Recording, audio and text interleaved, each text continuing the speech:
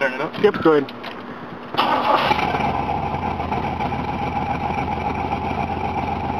There you go. Watch the cars.